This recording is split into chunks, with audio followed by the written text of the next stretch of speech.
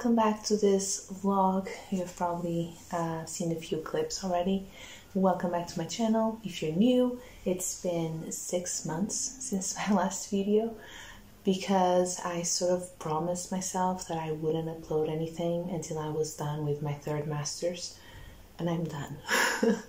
my final result came in.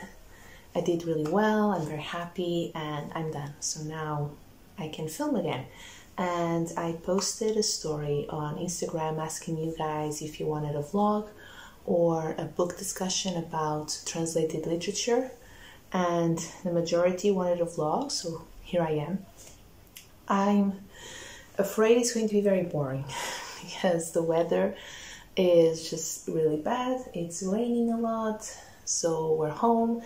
I was feeling a little bit under the weather uh, with a cold or something. I had a headache, so it is five o'clock in the afternoon on a Saturday, and I'm about to start reading. So, yeah, that happens.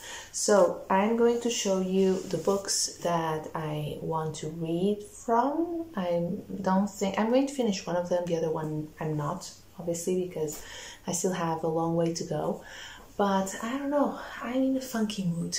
I don't know what I feel like reading, honestly. Uh, so we'll see. But I am going to finish The Vanishing Act of Esme Lennox by Maggie O'Farrell. And this is about a girl in the 1930s uh, who had like a very peculiar behavior for a girl for a girl at that time. So her family sent her to a mental asylum because you know you do that, and they just left her there for years.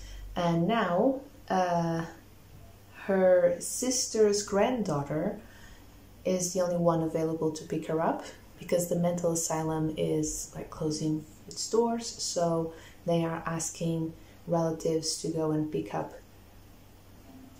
you know, their family members. but this girl, Iris, didn't know her grandmother had a sister, and she didn't know this sister was in a mental asylum for years and years. So this book, like, there's no there's no plot, like nothing really happens. We are trying to understand why Esme's family felt the need to send her there in the first place. We learn a little bit about the family as a whole through Iris. Um, and that's pretty much it. We're just trying to figure out, you know, people's nature, relationships. I like these sort of books. Like, you don't have a plot as such, this is entirely character driven. Um, it is incredibly sad to think that this happened to people, and it did. You know, for so many years, women who were sent to institutions. Uh, I'm saying women because the majority were women, but obviously men as well, and they were just left there. So it's kind of sad. Um, it is written in a very peculiar way. Uh, we have we jump uh, around in terms of time. So we go back to the 1930s, we come back to the present time, and we learn a little bit about Esme growing up. And basically, I'm I'm supposed to finish this book, and I still don't know exactly what happened. As you can see, I don't have a lot to read, but you know, every little detail counts. We learn a little bit about her sister Kitty. Uh, right now, she's not completely sane. Her speech kind of travels also in terms of time, but also events, like she gets some events confused. And we know a little bit about Iris. Actually, Iris was very prominent in the beginning, and now she's not as much. But I don't I don't mind it. Like Iris was not a character that I really wanted to get to know better. I really want to know what happened to Esme rather, but still, uh, it's something that just it, it might seem weird if you're reading the book. And yeah, that's pretty much it. So I started this book. This is one of the books that I started between September and December and I didn't finish. I have a lot of books that I didn't finish because I had to focus on my master's, I had to focus on my action research project, I had to focus on writing my thesis. And so a lot of these books, I started them months ago and I'm only picking them up again now.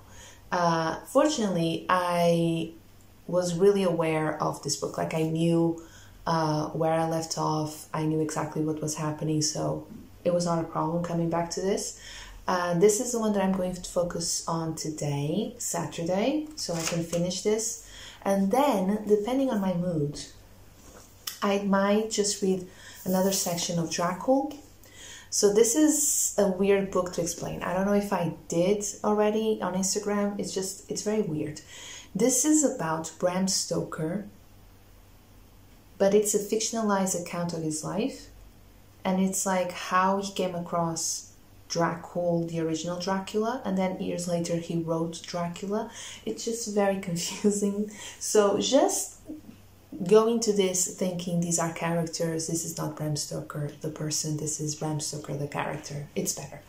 Uh, the first section. So I got this for Christmas, by the way, and I started reading it almost right away. The first section was kind of slow. And I heard a lot of people saying that, oh, I tried reading this book, but it's, it was just really slow, so I DNF'd it. Yeah, the first section is a bit slow, also because Bram Stoker is a child. His siblings are children as well, and they're sort of, you know, playing detective. I'm not a fan of that. I'm not a fan of children as characters uh, because it's really hard to write characters. Uh, sorry, it's really hard to write children. Uh, their speech sometimes is just not natural. This is not how a child is supposed to speak. This is not what a child is supposed to do. But you just go with it because this, this section is not that long. It's 100 pages, given give or take. Yeah, it's 100 pages. You know, just power through it and then you'll get to the good stuff because the second part is action packed and I, I love it. They're grown up now, so it's just a lot easier to follow the plot.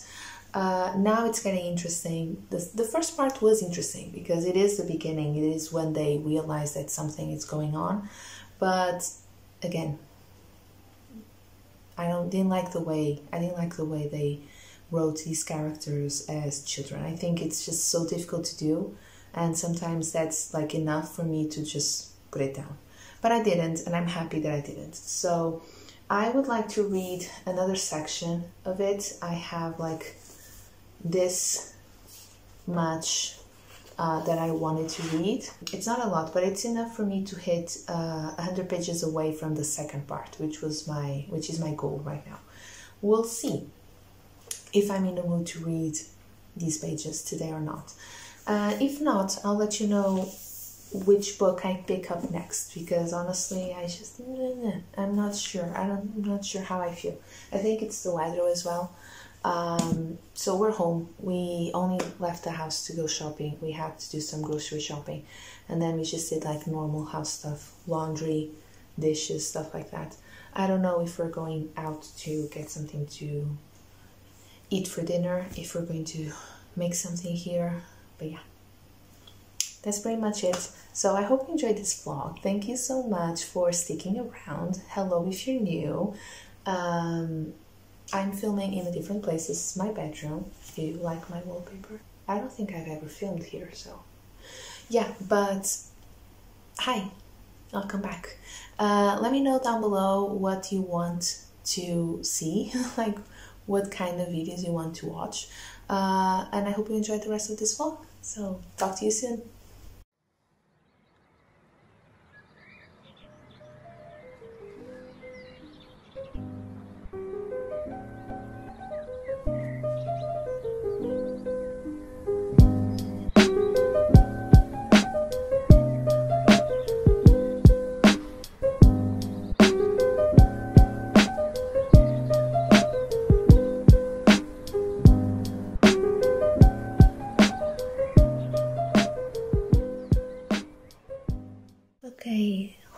Quality, but it is like 10 p.m.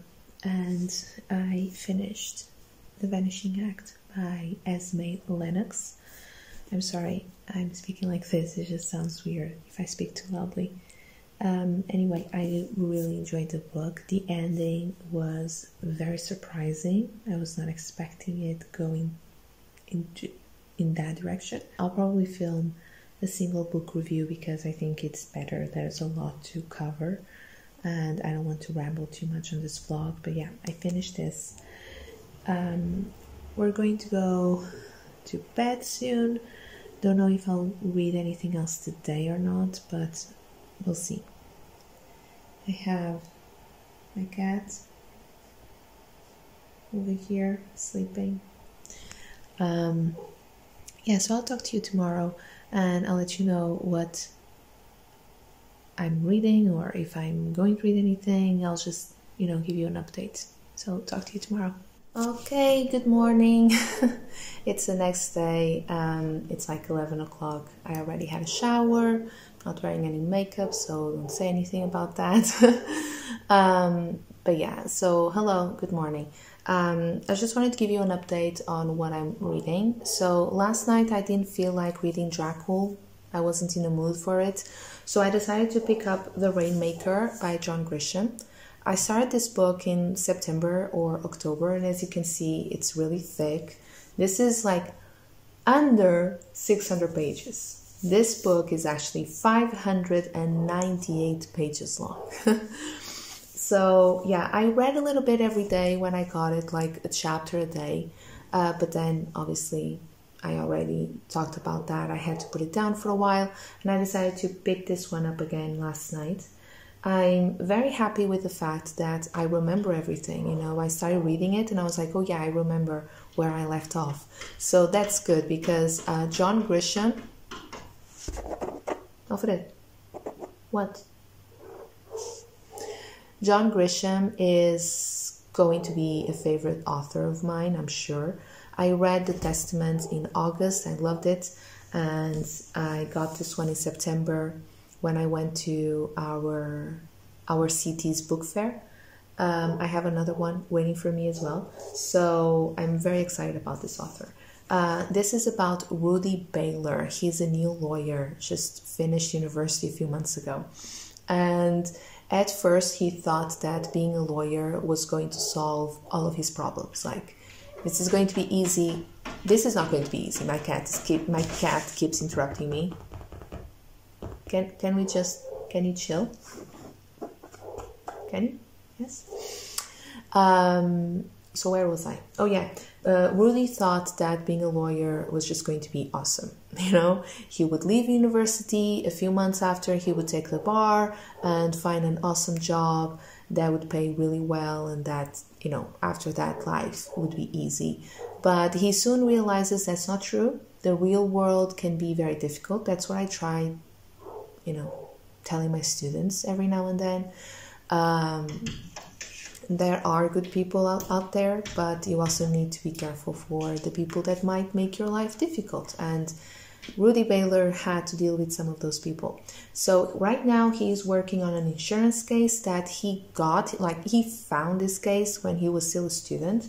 So this is his first real case. And basically this insurance company promised a family that they would take care of everything. Um, medical wise. And when their son, their adult son, got sick with leukemia, uh, they said, oh no, the insurance policy doesn't cover that.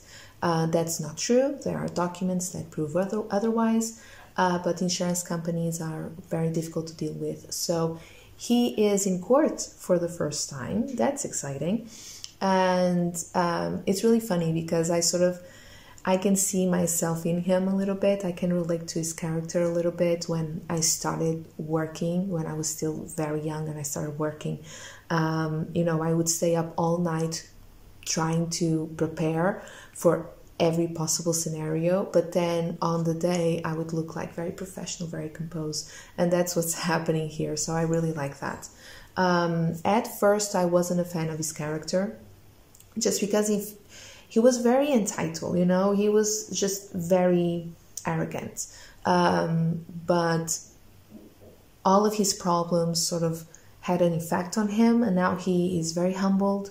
Uh, he is not expecting people to help him.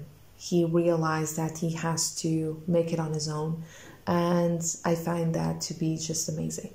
Uh, so, yeah, I'm going to continue reading this. I have like 200 pages left, so I'm not going to finish this today. But I would like to read like till page 400 and something. I would call that a, a success. And yeah, keep enjoying this one because I'm loving it. Um, it's a bit slow at times. Sometimes I had to stop and read it again, like read the page again, because there uh, there's a lot of jargon, uh, lawyer jargon, and this is considered to be a legal thriller. I had no idea those existed until I started reading the Testament. So, yeah, I recommend John Grisham's books if you haven't read any of his already. And right now, I am going to have some breakfast. The weather is a lot nicer. It's still very cold, still very windy, but it's a lot nicer. It's not rainy today. I'm feeling a bit better.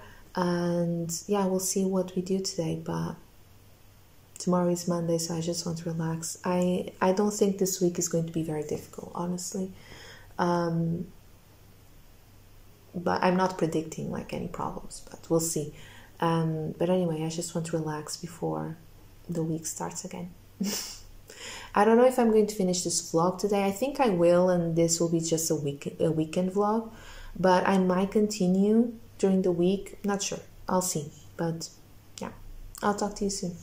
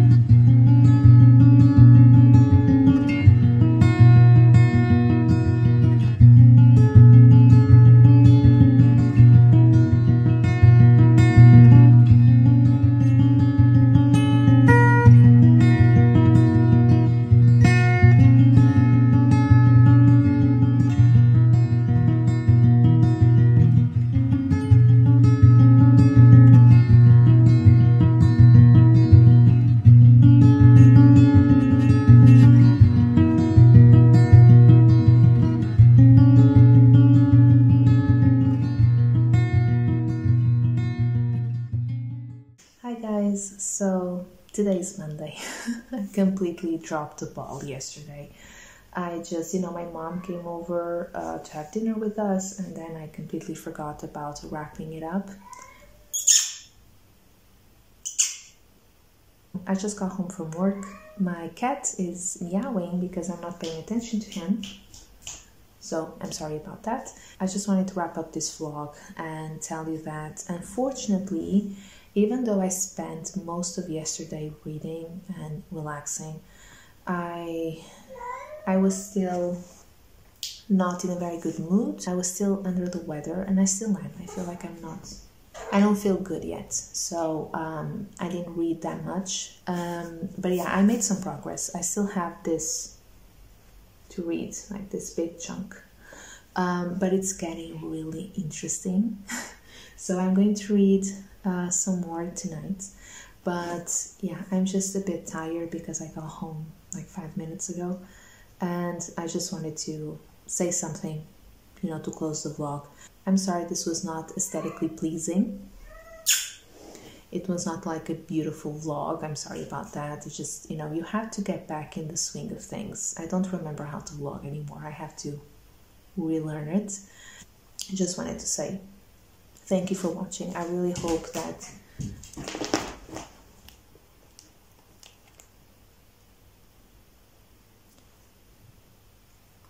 Hi. Kissy kissy. Thank you. I really hope you enjoyed this vlog nevertheless, even though it was not like beautiful. I hope you you'll stick around for what's coming. I would like to film another video, like a sit down video this week uh, maybe a tag, a fun tag, or that book discussion. about translated literature that I was talking about on my Instagram. But I don't know. So if you are wondering, I wrote like a very short review on the Vanishing Act of Esme Lennox on my Instagram. You'll have the link down below if you want to go there and follow. Yes. Mm hmm. Oh. Then what? You have to talk to him. um, so I forgot. I don't know what I was saying anymore. But yeah, uh, sorry about the vlog. Hope you'll stick around. And you know the drill. Like, comment, subscribe, and I'll talk to you very, very soon.